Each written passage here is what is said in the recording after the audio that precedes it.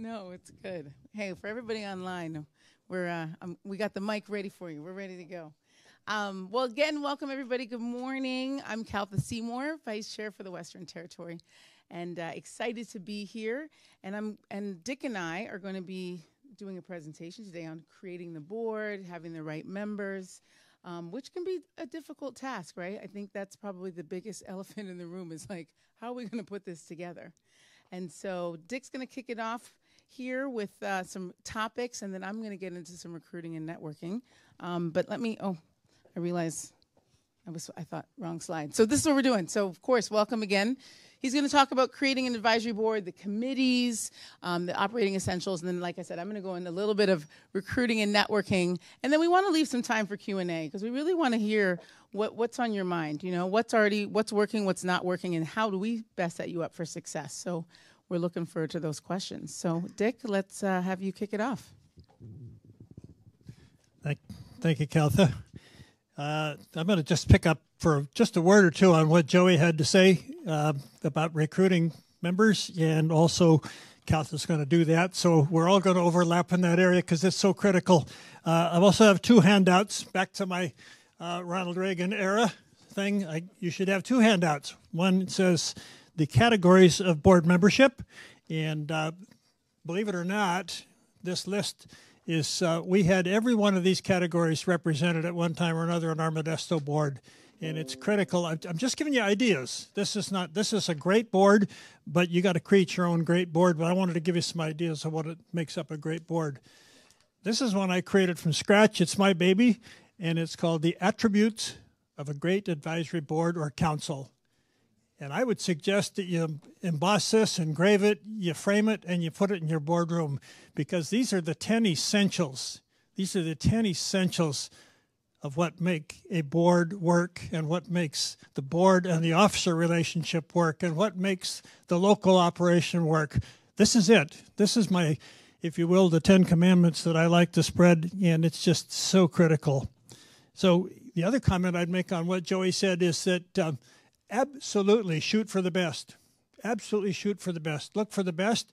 But you know, you also have to have people that do the work. You have to have people that'll do the work. And sometimes you get all executives and you end up with people where you don't have working committees and you don't have people. And so at the bottom of my list, and I'm sorry I put it at the bottom, it's just where it ended up when I thought about it. At the bottom, it says just a housewife. And it isn't just a housewife we need to get right down and all the essentials. We got to have people at work. Just as a crazy example, in Modesto, we had the finance committee. Three of us on the board were CPAs, and none of us served on the finance committee. You believe that? The finance committee was run by a business guy who was the the controller for a large company and the office manager for one of the companies that I worked with. And so the CPAs weren't even on the finance committee. So that's an irony, but you got to be think, thinking about it. You got to be creative. How do we fit these people in to do what they do? And there's an old adage about how you do what you do. You do best what you like to do. And so we find what people like to do, and we try to get them in to do that because they'll do that in the best way. One one last comment on on on recruiting, and this is very personal. My dad was a lifelong Rotarian. He loved Rotary. Oh, he thought Rotary was the greatest thing ever. When I moved to Modesto, I was a young CPA. I had about four years business, five years business experience. I went uh, doing the join the junior chamber, and finally I went had the courage to go over and I knocked on the door of the guy who ran the Rotary, and I said, "Hi, I'm uh, new to town, and I'd like to join the Rotary." Never forget, the guy was sitting at his desk. He didn't even look up. He said, Tell me why. I said, Well, because my dad was a Rotarian and I'm new to town and I want to make contacts and I really want to get in and make a, some, an impact for the community. And he never looked up. He said, Go away, make an impact, and then come back and talk to me. So I went over and joined the Kiwanis. 60 years later, I'm still a Kiwanian past, past lieutenant governor, regional governor, regional committee director, and international committees. You name it, I did it all in Kiwanis. I went there because Rotary didn't want me. And let's don't get in that position. You know, let's let's be sure that we're taking the right people. but let's also be analytical and let's make sure that we get that we have our minds open and that we're we're available. Okay, I got to get going because I don't have a lot of time, and I got uh, about uh, about a week's worth of information to give you in the next 20 minutes. So let's start from scratch. I'm not going to talk much about starting from scratch. In the book, on page three, it talks about starting from scratch, and uh, it's a good story, and I think you'll find it interesting. I would tell you in the new book we've written that we've expanded a lot on starting from scratch, but I just want to give you one word, one word about starting from scratch. You ready? Relationships. It's all about relationships. One day at the Modesto board meeting, we were having a full board. We had about 20 people in the room, board members, and we had others in the room. And the uh, the board chairman looked up and he looked around and he kind of smiled. We were talking about recruiting new members. He said, How many people are in this room are board members of this organization because Dick Hagerty asked them to join this board? Stand up. 11 people stood up. 11 people stood up because of relationships that I had with those people, and I knew who they were, and I was very active in town, and I was I was connected, and I was going out to the people that I knew A were connected, and B would work hard, and C would fit the image of who we were. So build on those relationships. The other thing, and I don't want to get on Caltha's, she's going to talk about recruiting. The other thing is that your board needs to be the basic recruiter. I'm talking to a bunch of officers here, but you don't know the town. You don't know the town. So be careful when you go out, talk to your board people before you get too committed into recruiting. Uh, we had one situation in Modesto where the officer went out and invited somebody in, and it turned out it was an attorney, a really nice guy. He was a pretty good friend of mine. He had sued the Army a couple of years before and won a pretty big lawsuit locally, and that didn't go over real well with the board.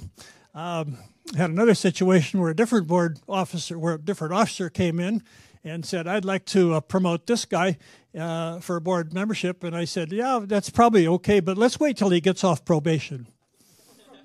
Because he was still uh, on federal probation for income tax evasion. And I thought, you know, this is a pretty good guy, but maybe we should wait until he gets his record clear before we take him. So, as board, as, as, as officers, I'm just cautioning you to be careful and understand who you're recruiting that's not to say you, the officers, shouldn't be recruiting. I absolutely believe you should be recruiting for board membership as well as the board, but you need to know the local game, and so just just be careful. Okay, having said that, um, starting from scratch is a is a huge story, and it's covered in this book. It's covered in the new book, and if you want to talk about it at halftime or after hours, I'd be happy to expand some more on it. But it's a very it's a very difficult task, and uh, it's something you just have to work at. It's just plain hard work, and uh, there's ways to do it, and I've spelled those out in the book. I don't think we need to. Uh, I don't think we we need to belabor that. Again, you need to recruit the right members. Um, need to organize the board right off the bat. The board has to be organized. You have to have a chairman.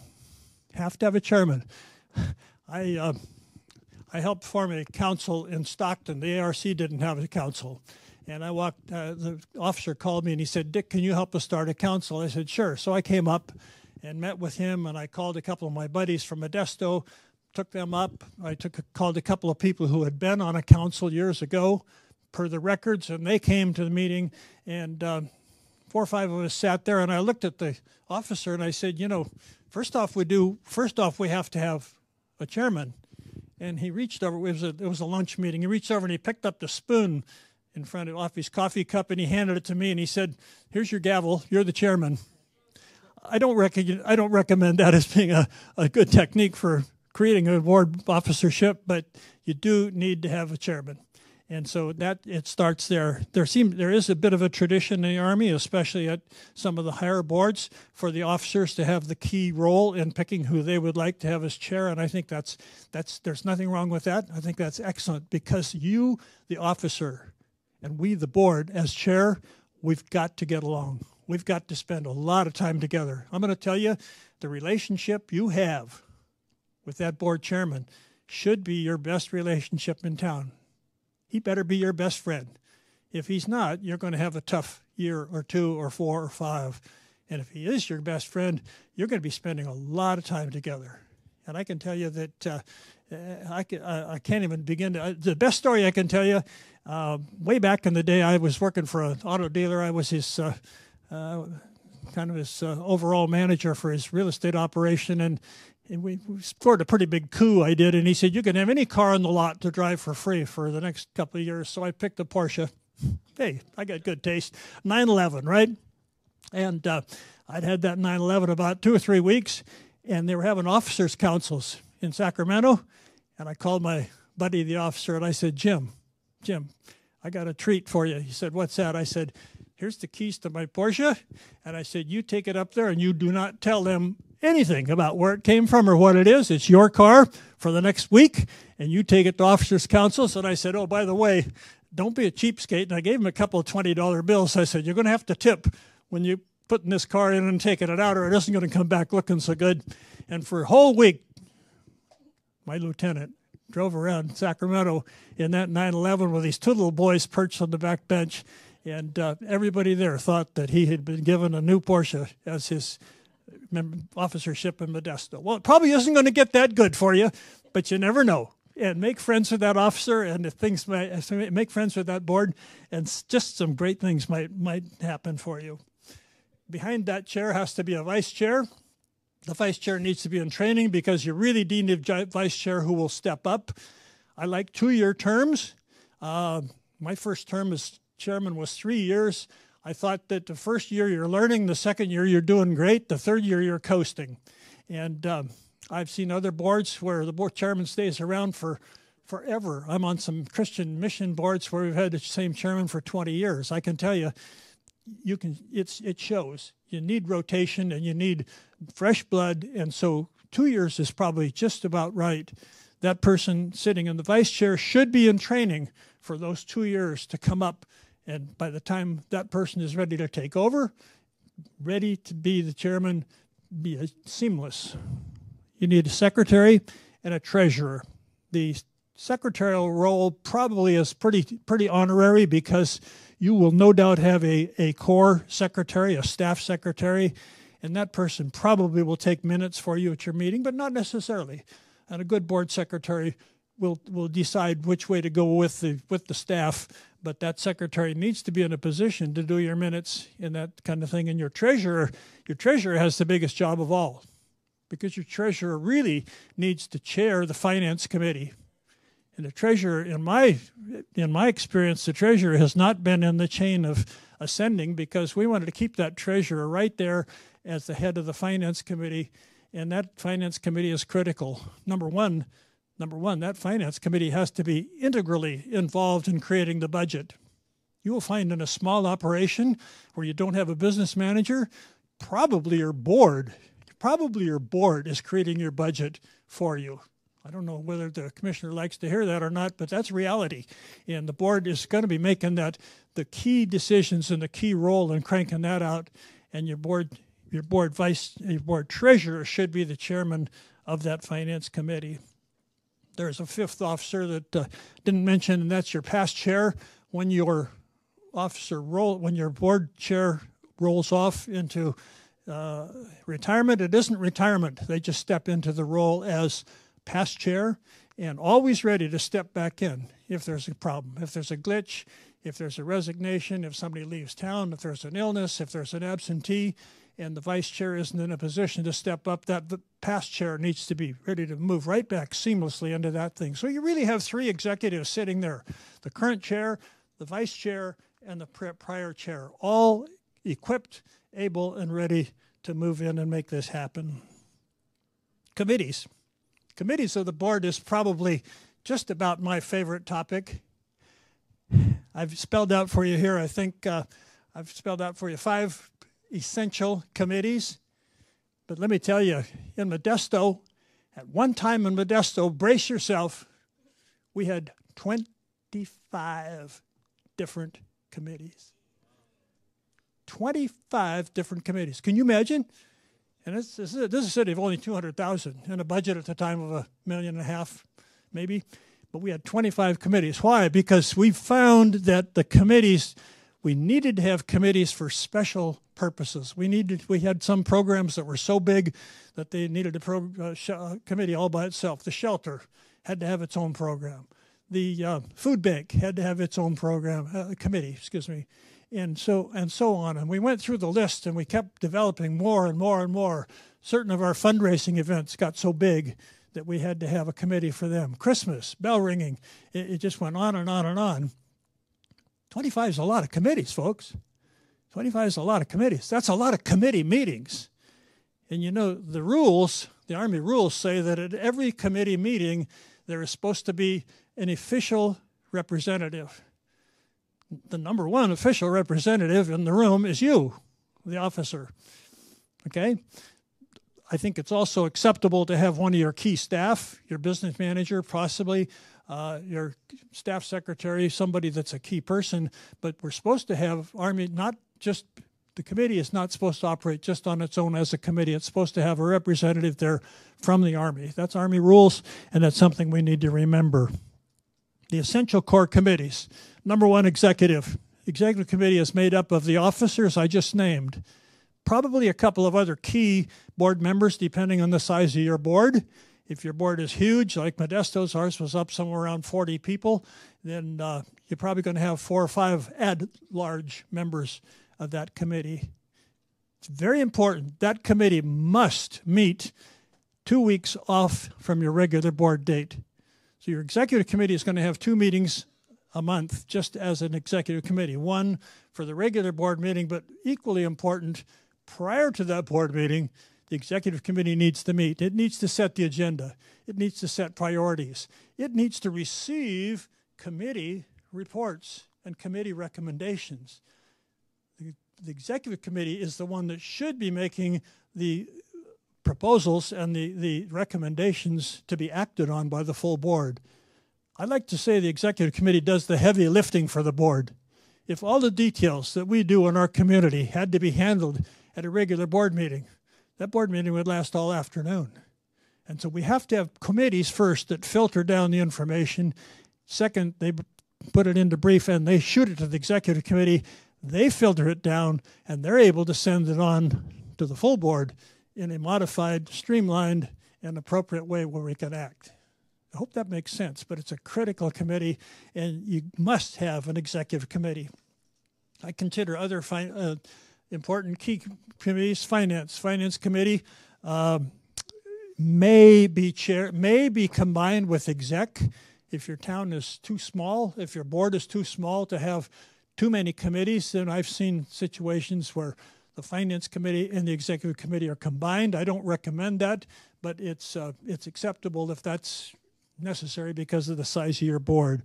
The finance committee is responsible for coming up in the end with the budget along with the officer, and Army protocol says the board must sign off on the budget before it comes up to division for approval and that's in, that's a must. And I see way too many, way too many corps, way too many operations where the budget on Saturday night gets cranked out by the officer, and the board never sees it, and it gets sent up to the colonel, and it, they go on down the road from there, and that's just not the way we do it. Just not the way we do it. If there's any area that comes really close to policy, on our advisory situation, it's in the creation of the budget. But we don't create that budget on our own as a board. We create it in conjunction with the officer and then in approval by upstream. But that's very important that that finance committee understands that role. Property committee, property committee, that's the hardest working committee on the thing because let's face it, the Army is, is a huge huge landlord. We own more property than any other company in the country, I think. And um, as a CPA, uh, uh, this grinds on me, but I once heard an officer look at me and say, You know, you put assets, all the assets. This building is an asset. These chairs are assets. This mic is an asset. You put all the assets on your balance sheet. You consider them to be assets on a balance sheet, on a proprietary balance sheet. In the Salvation Army, we consider all these to be liabilities because they're wearing out and they're wearing down and they're needing maintenance, they're needing to be taken care of. And so, from the standpoint that this is an asset, it's also a liability because we've got to keep it up. And the property committee needs to be in a position to do the upkeep, to make the upkeep. That's going to mean you need a contractor or two on your board. Uh, couple of subcontractors is great, maybe a paving contractor, a general contractor, because those are the guys. Those are the guys that are going to, that you're going to call. That may not be necessarily the guy that's going to fix the lock, but he knows who will fix it, and he has a contact with that person. A good property, a good property committee chairman will make your life way easier. You got a toilet plugged up. Who do you call? Well, you're new to town and you aren't quite sure who to call. you call the property chairman, and the property chairman, he knows who to call. Maybe he's got a snake, uh, sewer snake, and he's back picky. If he's pick up and he'll come out and fix it. We don't know. The property chairman may be a jack of all trades, and he may be in the position to do those fixes. Maybe not, but he knows who to call. This guy's going to make life real, basically easy for you. Trust me. Program committee. Program committee needs to evaluate the programs, refer them, see if they're working, see what else needs to be done. Also needs to propose any new programs that are going to come come into town. In some cases, this can be a huge operation. In Modesto, our main uh, our main program in Modesto, the homeless shelter, went from a 75 people at night only, and everybody gone away during the daytime, to 400 people full time and 700 meals served three times a day. You think that committee didn't learn on the fly how to work? It became a huge, huge successful committee, and I recommend that you. Uh, you pay a real special attention to the program committee because they're going to decide, they're going to help you decide what programs work and which ones don't which ones are a priority, and which ones can we kind of let go by the wayside. And then you need a fundraising committee. Uh, basically, you really need a fundraising committee and a PR committee. But in a small operation, you're probably going to combine those two. And ideally, to do that for a PR committee, you need to get a local newspaper editor. They do publish newspapers still, guys. I, I, I, I was I was reading one Teresa was Teresa cuts hair at the ARC for the ladies on Saturday. Saturday I was sitting helping her while I was watching. She's cutting hair for the ladies, and I'm reading the Saturday Wall Street Journal, and the major walked up and he said, "What's that you're looking at?" My major is a smart aleck, but that's that's okay. but um, the local newspaper publisher, the local newspaper person, the local advertising agency, the local uh, media person of some kind. Really, you need to grab that person and put them in charge of your PR, and life will get a lot easier, and you'll get a lot more publicity and a lot more recognition around town. Okay, I'm going to try to get quickly wrap up because oh, hang on, I'm not okay. Come on up, flip flip my slide. She's this is my. Yep. One more comment. One more comment on committees. One more comment on committees.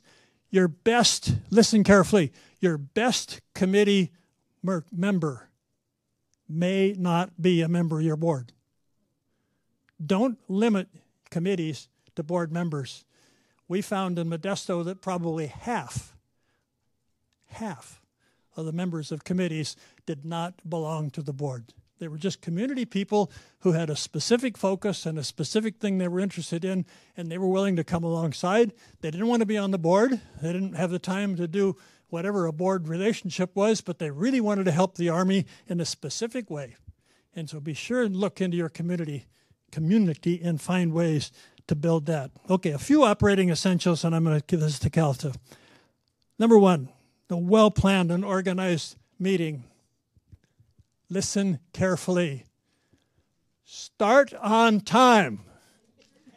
Finish on time. You have asked really important, really busy people to come to your meeting. And then Chatty Cathy over here in the corner and Silly Sam over here in the corner go on and on and on and on and on.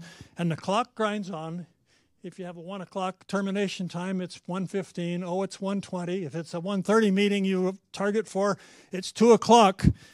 You know what? Some of your busy and key people aren't going to be there after the appointed hour. Why? Because they allocated a certain specific amount of time, and that's it. And how do you run an efficient meeting? You have it planned. You have a specific agenda written ahead of time with the, with the agreement of the executive committee and the officer, and you lay it out and you start on time and you stick to the agenda and you end on time. It's as simple as that. Participation and input by all. I say a good meeting is a meeting where everybody feels like they were a part of it. They don't necessarily have to speak. Goodness knows we don't want them to speak for five minutes, but everybody has to have an opportunity to, to be involved. And Teresa will tell you this afternoon when she, you know, when she's talking about auxiliaries, you got to let people talk, but you got to be careful. You can't let them run or take over your meeting, and that's a that's a really key point. And finally, communication. I can't stress communication enough. Communication runs at every level in our operation. It runs between you and the officer. It runs between you and the staff. It runs between you and the community because now you, as a board member, or you as an officer, are representing the Army. And so we, the Army, are reaching out to the community. It's all about communication. And the biggest glitches I've seen are when communication breaks down. When communication breaks down, bad things happen. And I'm just telling you right now, you better be communicating. And my final word, my final word is a word that I say I'm hammer over and over, and it's the title of my new book excellence. Excellence. Act with excellence. We are the best. We are the best organization in America. We've been acclaimed by that, by many, many people. Look at us. Most people look at us and say, You're the best. Try to act like it. That's why we're here. We act with excellence. And I'll close with my mantra that I give to every new officer that walks in the board, in the door. You're brand new, you've been sent to Modesto, you come and you stand up in front of us, and they call on me. And I get up and I walk over and I put my arm around the captain or lieutenant or envoy or whatever he is or she is, and I say, We were here when you came and we'll be here when you leave. What you do while you're here, we will live with when you're gone. You are the CEO. You're the boss. You're in charge. But we are the Salvation Army in this community.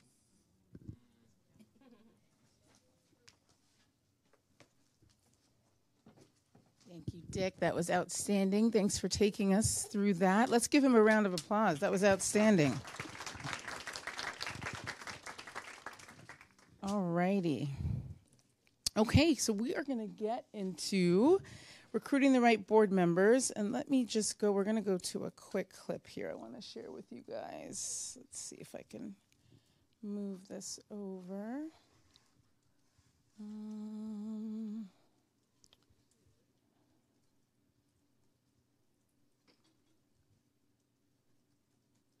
this is where I need my own IT person. I'm like, how do I close? I forget how to close this out. And okay, there we go. There we go. There we go. Okay.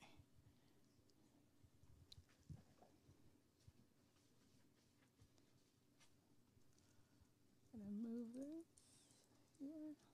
Okay. Anybody who needs a doctor, CRNA. Oh, oh, oh, I like to think of myself Sorry, let's start over. I'm a recruiter for locumtenens.com. I call hospitals, private practices, pretty much anybody who needs a doctor, CRNA. I like to think of myself as a college football coach calling high school recruits. Hello, is this Greg? Hi, this is Terry from locumtenens.com, and I was just locum tenens. Locum tenens. It means to stand in the shoe. L O C. Well, I think the difference between a good recruiter and a bad recruiter is probably patience. I stay calm no matter what. No, ma'am, it's locumtenens.com, not localtennis.com. No, not locusttendons.com. Did you just say lotiontender.com? Is this a joke? No, no I, I cannot offer you online tennis lessons. I'm not even sure how you would do that. T E N? No, sir, this is not loadedtenants.com. Some days are more patient than others. Are we done?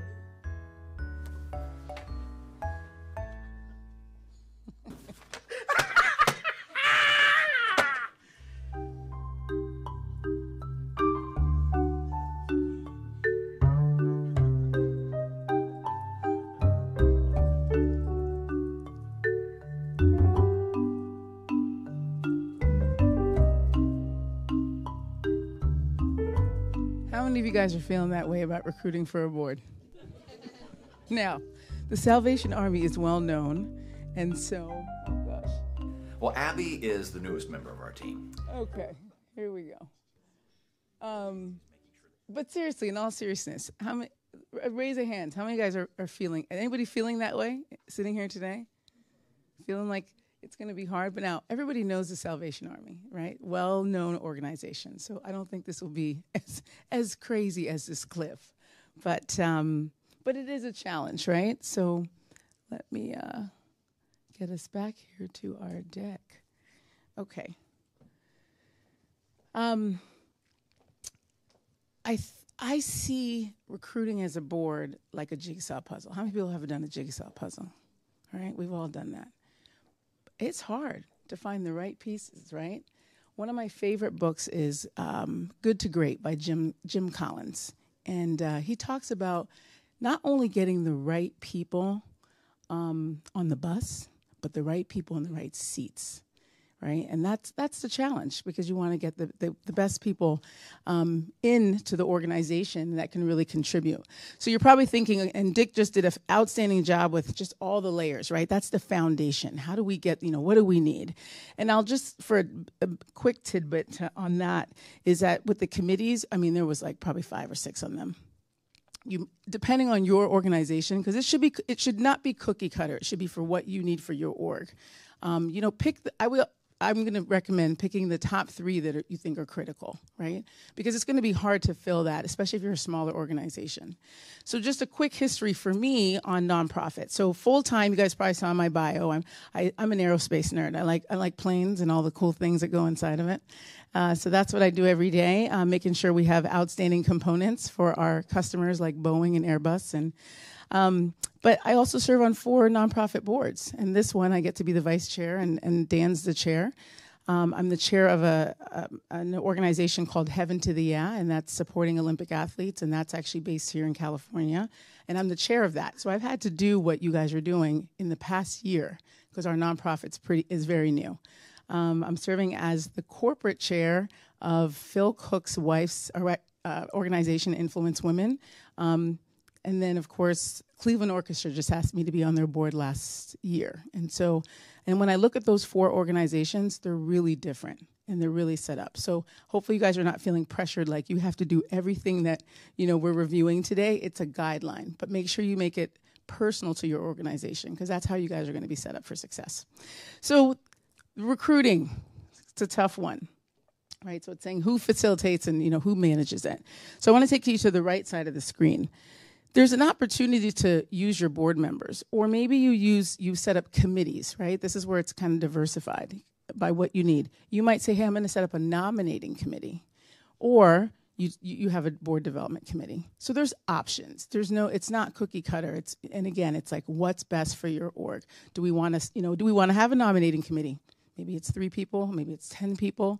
Um, the, the board members, right? You have your board, and your board's always going to kind of be your, your first line of defense, um, but they don't have to be who is part of the recruiting. Maybe you have a few board members. Maybe you say, no, we want all our board members involved, right?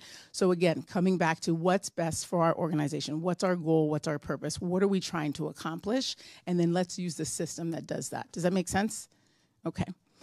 So, You've probably heard, right, this quote You're only as good as the people you surround yourself with. How many people have actually heard that quote? It's a pretty popular quote, right? But it's very true. Um, it's, it's, and it's not only for our our work life, our personal life, but of course now in board development, this really, really comes true. And this was a st- statistic that I found actually when I was doing a little bit of research about this. And uh, yeah, it says 41% of nonprofits struggle. I mean, 41%, that's a high percentage. That's almost half, right? That's a, that's a pretty high percentage. But struggle with recruiting quality board members who are passionate about the cause. I think boards in general. So um, we were talking about relationships and that importance. Um, I'm serving on uh, Phil Cook's wife's board, right? We are connected through Salvation Army. One of our board members, um, why am I drawing a blank on his name? Rick Osgood recruited me to, you know, he was somebody that made a recommendation to TAB to say, hey, here's somebody that you might consider. And the for profit, I serve on a for profit board in San Diego. How did I end up on that board? Rick Osgood recommended me, right? And said, hey, this is somebody that's, that has these skills and talents that might fit. So you have to think about that for your group now. How are we going to get those skills and talents? So you think about attracting, engaging, you know, retaining strong board members. And, and we're going to go through some steps here. Um, that allow you to do that. But before we jump into this, I would just like to get a couple raised hands, and I'd love to hear some of the challenges that you're either facing already trying to do this or some things that you're thinking about. I'd love to just get maybe one or two examples. When you think about developing the board, what are some of the things that maybe you're apprehensive about or maybe concerned? Yes.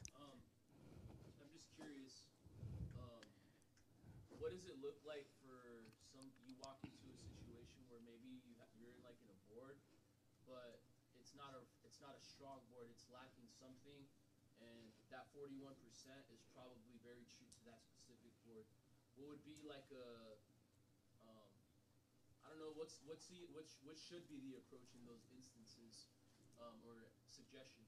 Yeah, that's great. So your so your question kind of lines in the four steps that we're going to go through. So thanks for thanks for no, it's perfect. That's why I wanted to ask first. Maybe one more one more person. Any other concerns or thoughts? And I want to make sure kind of these questions, right? They tie into how are we going to get to creating that that excellent board that we need. Anybody else?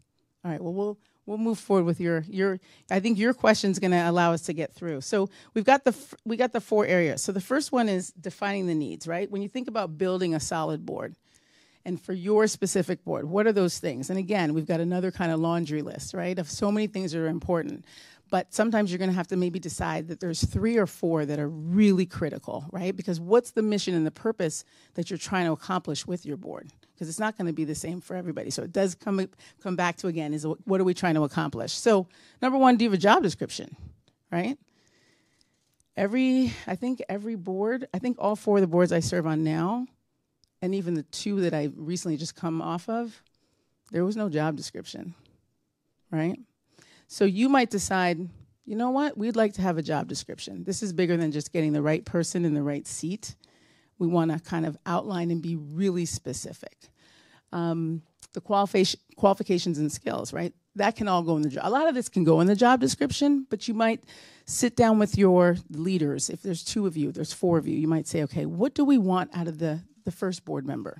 the second board member. You know, what are those skills and talents that we're looking for, right? Because you're looking for a diversified bo- board of skills and experiences. So it's important to know what they are. And then also, too, you think about the benefits to your organization, but the benefits to them as well. What can they bring in? If you're saying, hey, we have decided we need to raise $56,000 every year, and you might say, okay, well, fundraising is going to be big for us. We need a board member that's in finance or that's a fundraiser, right? And finance, some people think, okay, we'll get somebody in finance, but somebody in finance may not be a fundraiser. They might manage the money, but they're not a fundraiser, right? A fundraiser is somebody that does what? Asks, right? Asks from it can go out. Really, say it's sales, right? Getting out there and doing sales. So you got to think about that, and that ties also into the you know the qualities and the characteristics of what you're looking for. Um, I think I was recruited. I'm trying to remember. I was recruited into this board at the time when I was actually in an inclusion and diversity role. I'm a, you know, like I said, I'm a, I'm a business person. So I have gone since gone back to the business since that role because I, I do enjoy working with our customers. But that at the time for the tab, that was a value add background for me to under, you know, to have to come on to the to the team. Um, and then just responsibility and authority. What are they being asked to do? It's great. You're like, okay, great. We got these five board members recruiting in, but what's the responsibility? Like, what are we asking them to do? What kind of authority and decision making do they have, right? Some boards, you just have them there to just advise. Hey, we got this situation going on. We want to get the board to advise. Okay, but is the board going to make decisions? Who's making the final decision, right? So you got to be really specific in what the ask is, is going to be. And then, you know, terms, general duties, time commitment, and then, of course, legal, financial. These are all things you guys are familiar with. So again, you know, a, another good list to think of. You don't need to be doing everything, but just pick the things that are specific to what you guys need. So the next, finding your candidates. so Joey was talking earlier too. You know, we want to leverage those those current members, right? Um, and Rick, when he recruited me to this board, right, it was his way of leveraging his network and people that he knows. So you leverage, you know, your current members to get you other other members and recommend them. The local community. I mean, there's so many great community members. You guys are so involved um, on so many levels with the community. But even your community contacts, they have other people. You know, so I think it's important. It's almost like an awareness campaign. If you're brand new, you really got to put it out there that you're looking for board members. If you already have some, but you're recruiting some new, again, you want to get the community involved. You want to get them to come behind you and say, hey, we, this is what we're doing at the Army. These are the specific three pillars that are important to our our unit, and you know, we we want you to come behind us to help us, you know, support that, to promote it, kind of get it going. You know, referrals, word of mouth. I mean, every single board I'm on right now is through somebody either saying, hey these are the skills and talents we're looking for a specific board. This is the people we know you know let's talk to those people. So that's helpful. And then just publicizing it right? Whether it's like through I, many of you have children they're at school they do sports. I mean there's so many networks right that we weave into every single day. Um, and then also too there's an opportunity for that external promotion right of who maybe some of you already have. Maybe they're able to even connect in some other groups and also bring those networks in. So there's a lot there's a lot of connection. Any question about, you know, finding candidates? Yeah.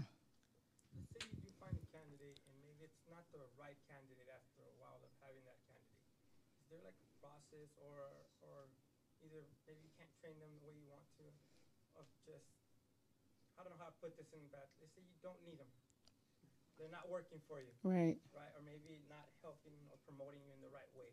What would be the process to either correct that or build that person to fit the needs of the that that arises? Yeah, that's a great question. Oh, sure. Actually, you know what? I'm going to let him repeat the question. Yeah. That's a great, yeah. So if there's an advisory board uh, person that we find, but doesn't fit maybe the criteria that we're looking for, what would be measures we can take to either build them up or you know find a solution to help better the situation? Does that make sense? That's a great, great question. Um, I think it depends on where you are with your board. If your board is brand new and you realize early, that's going to be hard, right? To bring somebody in and then be like, we can't use you, so we're going to put you, you know, you're going to be on, you're going to put you over here. Um, you know, the first thing, and I may defer, I'm probably going to defer to the expert here to get his to get his insight. Um, but as you're starting, you would probably try and find a different area committee. So once you get the board started and you have specific committees, and that's why I'm a big fan of don't have too many committees, right? Because you want to make sure the committees you initially establish are really successful before you branch out. And so um, I would try to move them somewhere else where their skills and talents would be value add, right? Because I always say God has gifted all of us with skills and talents, every single person. I would, I don't care if you're cleaning toilets or you're the CEO, you're blessed with skills and talents, right? Because God's designed us that way. It's just a matter of spending that extra time to figure out where their skills and talents can be value add. And so you kind of move somebody. Now, if you get it to the point where you've got somebody that's like on your board and they're not really doing anything and they're not stepping up, well, that's that's something you kind of put in your board policies, right? When they come on board, when they, you know, whether you sign a contract or you outline the terms and conditions in their onboarding process, you know, that's that's a great time to do that. Does that answer your question? Okay, excellent. Great. No, that was a great question.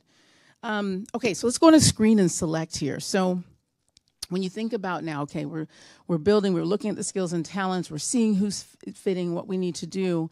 You you decide what are we going to do? Are we going to do an application, or are we going to do an interview?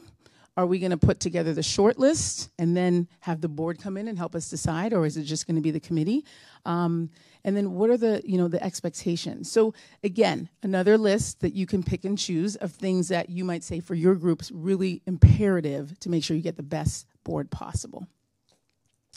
And then finally, and actually I should just stop because I, if anybody has any questions about this list before I go on to our number four area. And is anything on here that you think is missing? I'm all about that constructive feedback. So, you know, I'm always, you know, just like you guys, I'm trying to get better too. So, um, is there anything you guys have thought about that maybe should be on this list that's not?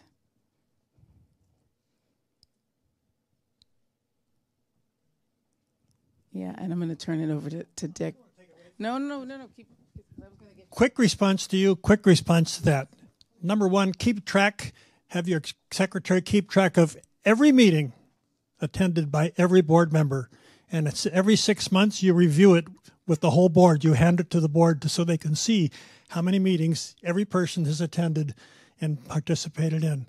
Before you put somebody on the board, we require them to serve on a committee for at least six months. And if we they serve six months, we're going to know pretty well. And the other and the last easy, there's a lot of answers and they're covered in my book, especially my new book. But the best final thing is assign a term limit. Put a one year term limit on every new member, and at the end of the year, just don't renew them. Thank you, Dick. He's the expert. I'm still learning learning learning a lot from him. Oh. Yes. Yeah.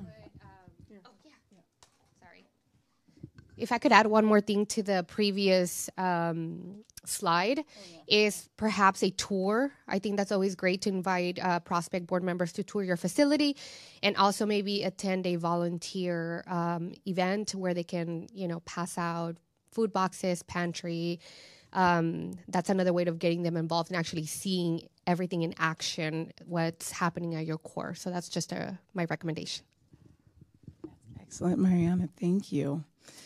Okay, and then finally, the orientation, right? The onboarding process, I think, is really, really important. Um, I think about when, so I've been with my current company, Eaton Corporation, um, for almost eight years. And I mean, I bleed Eaton blue. And, and really, I do because of how they recruited me and the onboarding process. And I was just so important. I was just impressed with it. And when, you know, Dick talks about, they brought that level of excellence, like it's pretty high, you know, and when I look at all the other companies that are out there. And sometimes we think the grass is greener, but you know, when you're treated well and you're onboarded well, you you kind of you're sold out, you know, because you're like somebody spent the extra time to make sure I had a really great experience. So you want to do that as well. And how you do that is by and of course, I've got some things listed here that I really appreciate having. I'm kind of a detail person, I'm a numbers person, so I like seeing like the org chart. Who's in charge, right? Who's at the top and then who's reporting and what org, you know groups do we have in organizations. It's kind of nice to see that. I think 92% of the population is visual, and I'm one of those people, so it's nice to kind of see everything. Um, the annual report, what do the numbers look like? You know, where, where have we been financially? And sometimes, look, people will say, yeah, year over year, but I like to see the five years. What's been going on? You know, uh, you raised maybe 50, that $56,000 the first year, but only maybe 29,000 the next. And then there's maybe you were back to 56. So you know, we're able to ask questions like, hey, what happened that year, right? So now coming out of COVID, a lot of us are saying, hey, that was COVID, that was a COVID time, right? Um, and then the strategic plan. What's the game plan? What, you know, what are the key strategic initiatives um, that that the division is working on. There's usually some bigger, right? There's some bigger army strat plan, and but there's divisional and unit, and so that's got to be really important. And then if you have a video, that's awesome. I mean, every, we're so visual now, right? We love media stuff, so videos are great. As you saw, I kicked off my presentation with one, and I have Phil and Kathleen Cook to thank for that because that's what they do, and they've taught me, and I've taken that idea from them. So don't have to reinvent the wheel. And then just having a presentation and then making sure there's some training. But just make sure you have an onboarding package. Like I think it's nice to get something physically. You can also send something digitally. Um, but you know, really display that you you and your organization have spent time to say, hey, we really value you, and here's all the information. Welcome on board. And then finally, just a little bit on the relationships and networking piece. Um, I want, you guys to really be committed to working the rooms you sit in every day. You guys are together. This is where we, you know we we have these areas where we work. Um, But think about the other places that you sit, right? You're at your child's basketball game, hockey game, ice skating. I'm Canadian, so I only do winter stuff. Um, so that's where I would be. But um, but seriously, like any any sporting events, you're in the grocery store. I mean, God has us out all the time with people, and there's you would just never believe the connections. And I'm going to share a quick story. Um, so the Heaven to the End nonprofit's just over a year, um, and our purpose is equity advancement in, uh, for underrepresented sports. So I had seven Olympic athletes. Three of them are actually Christian athletes, and we just did a fundraiser in Cleveland. Um, that's this past Saturday night. And literally, you guys, 10 days ago, we had sold 12 tickets. And my goal was to sell 50. And I'm not from the region. I don't really have a network. But you know, you had prayed. I was like, Lord, you're going to have to have these people show up. Somebody needs to help. And God descended some really amazing believers through Fellowship of Christian Athletes and some other things to help us get to this place. But it was through these networks and through people and just mentioning, hey, this is what we've got coming up. Do you know anybody that loves sports or loves athletes or is tying into equity advancement or as an equity champion? And you guys, in 10 days, we sold 58 tickets to this event. But it really came down to, for me, committing to reaching out to the few people that I did know in this area that could help us fill the room. And so I want you guys to commit to working the rooms that you sit in every day. Even the people that you're like, well, I'm not really sure, ask them anyway. Just talk to them, tell them about what you're doing. Because people want to be a part of things, right? God designed us to be with people, to be a part of things, and people want to get on board. Um, I had three, I literally met two older gentlemen who, um, it's kind of, kind of funny story. Um, Tim Tebow came to town with Craig Groeschel, and um, they were let me know they're coming to town and they're like, you really should come to this event. That's actually the game changing event because I went to this event. They had VIP tickets, so they let me go with them. And I and that night I met some people and we had three tables of 10 that came out of this event that I just went and I didn't know anybody, but I was like, I'm just gonna I said, Lord, I'm just gonna talk to some people right? So I want you to just think of all the places you are all the time all the time where you can just plant seeds, start building those relationships because you'll never know who you're going to meet who will direct you to the next person, the next person, and before you know it you've got board members from just meeting one or two people. So it's a powerful tool, right, to engage with your network. But I want you to think inside the box. This is what I'm talking about. Everybody says think outside the box. No, I'm I'm inside a bo- inside the box because we already kind of know all the people we need to know, right? But have we done a good job of kind of massaging those relationships with those people that we know? And so, church community, school community, right? Groups, sports organization, social media. I mean, you can get a fun little social media post. Hey, we're recruiting for this initiative, or we have this fundraiser coming up. And you'd be amazed how many people they're like, wow, I'm really passionate about that. Or, or their friends saw it and they'll tell them. So let's be a little bit more engaged that way. And I think that will help. And then just, you know, become a scout, like in the video. He was talking about scouting. He was a football. What did he say? He's a football scout. Hey, you kind of get to be a, a, football scout, you know, in this in this venture. So, but be thinking like where you can leverage your skills, like diversity of perspectives. I think that's huge. You know, um, when I think about the boards that have recruited me in, it's because I bring a different perspective right? I'm somebody, I'm Canadian, I'm from a different country. Um, I speak French, I speak a different language. Um, how I ended up on Cleveland Orchestra's board, a lot of people were like, How'd you end up on that? Well, I'm classically trained on the piano. I studied at the Royal Conservatory of Music in Toronto, and the director of development found out I was in Ohio and was like, Can you be on my board? So if you do plant seeds with people about the stuff that you do, you know, um, it will, it can lead, right, to getting that right board member. So just nurture that leadership, building trust with open communication. These are just all things, little tidbits that have been really helpful, and I think it hopefully will be really helpful for you guys. So to wrap up, just a couple final tips and takeaways. So I'm going to go to the right side first because Dick started us with organizing the board. You got to do that first, right? Um, and once you've done that, set the goals and make sure they're specific to the needs that you guys have for your specific unit. Um, and then those committees, same thing. Don't need all of them, but you know, make sure you probably have at least three, and make sure they're the ones that make sense. Are we trying to fundraise? Are we trying to build? Are we, you know, whatever those goals are, and then your recruitment recruitment plan, right? Decide what you're going to do. Hey, we're going to do a job description, or maybe we'll just do the interview. Are we going to bring them on campus? But make a decision and then and then stick to that, and then finally just execute and have fun, right? That's what you want to do. So, diversity on the board, make sure you get different skills and talents. The communication, it's so important to keep lines of communication. So, if you have certain units that you guys kind of work together, make sure you're communicating too. You don't want to do things in silos because that happens. Because guess what? A lot of times we find out duplication of work has happened. Nobody wants to find out like three people are working on the same thing, right? So make sure everybody's communicating. All the constituent groups are in there. Um, you know, and just you know that orientation piece. I think this, the, the the professional delivery is so important, right? The communication and making people feel welcome and excited, and then um, that you know the community outreach, right? That awareness campaign. Let people know what you're doing, whether it's go on social media. Hey, we got these flyers. We're going to put them up at the I'm thinking the grocery stores here, like Safeway, Trader Joe's. You know, you just never know. Coffee shops. I mean, put a pin in. They all have those community boards. You're recruiting a board member, right? Get a little different in how you advertise.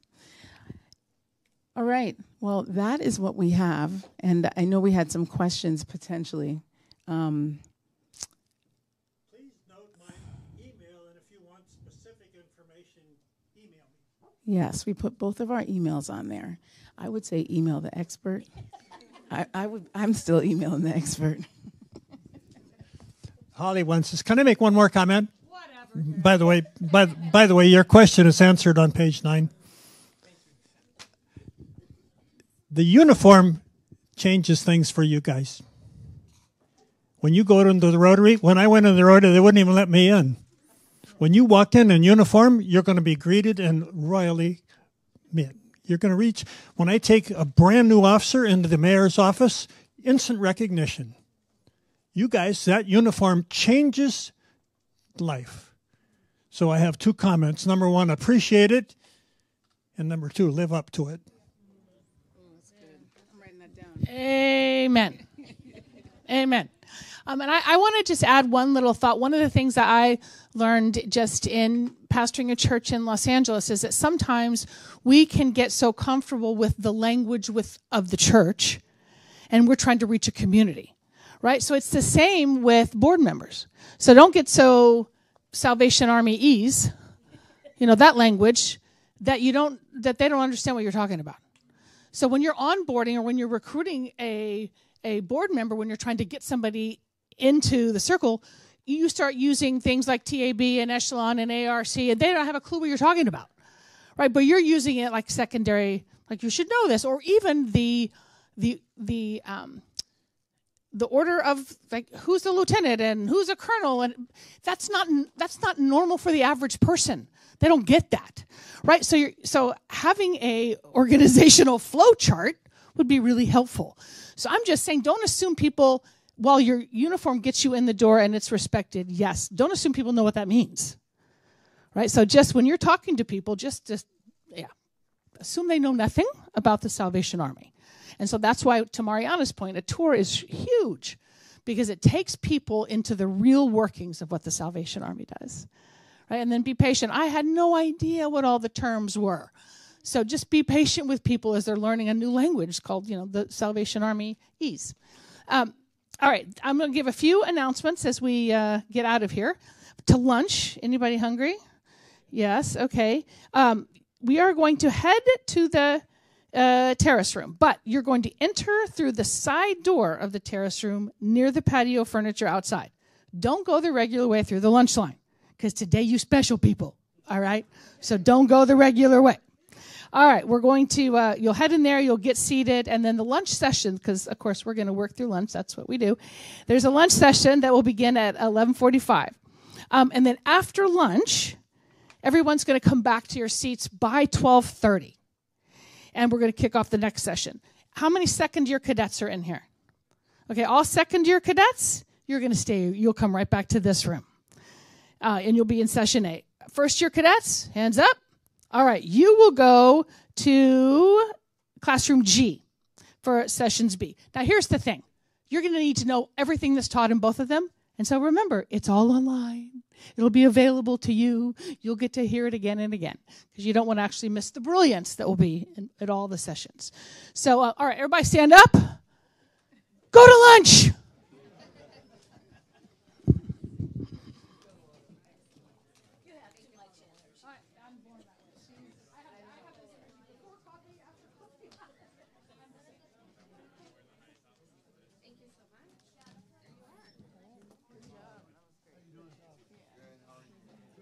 So hard just to not to jump up and get in, uh, I- and, and I just,